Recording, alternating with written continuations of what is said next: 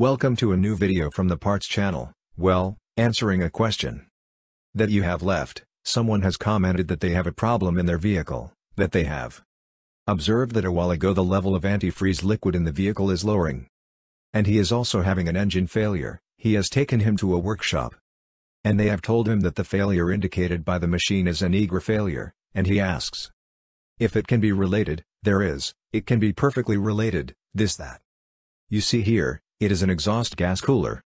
Look, the exhaust gases would enter that way. There. You have these tubes, they are for the inlet and outlet of the coolant, what it does is to cool the exhaust gases before they enter the engine.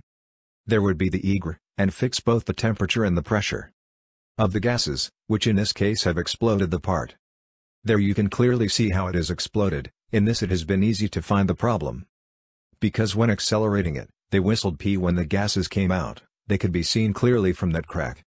But in others, when, as in this case, a crack occurs inside where the cells that carry the refrigerant liquid and the gases are located there. The coolant and from there it would go through the eGR, then it would go to the intake manifold.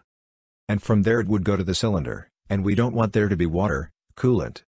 In the cylinder, because you already know that water is not compressed, yes it is a small quantity it evaporates.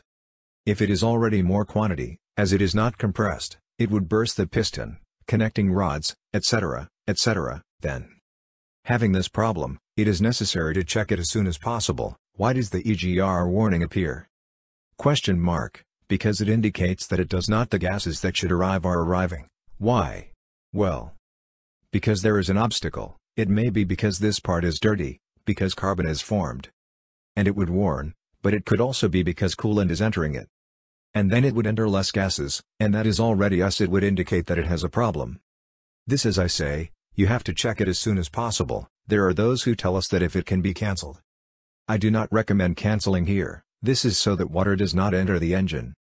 So that it does not enter the engine, not all vehicles have this part, but the vehicles that carry this are designed precisely to carry this part, so if you cancel the water inlet, the exhaust gases will reach the engine intake manifold with a high temperature. And overheating is going to occur, or there may be overpressure problems. Apart from the fact that the vehicle will not run as it should because you already know that the hotter gases occupy more space, less air enters, with its respective oxygen and the card will be much worse. Well, here you have this short video, if it has been useful, do not forget to like and subscribe to the channel.